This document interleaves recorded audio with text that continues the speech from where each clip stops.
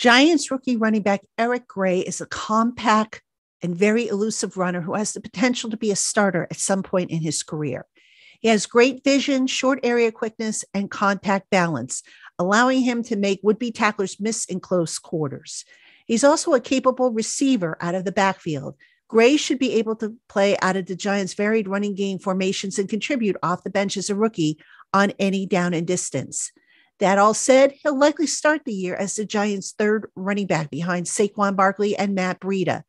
But don't be surprised if down the line, Gray seizes a much bigger role as soon as late 2023.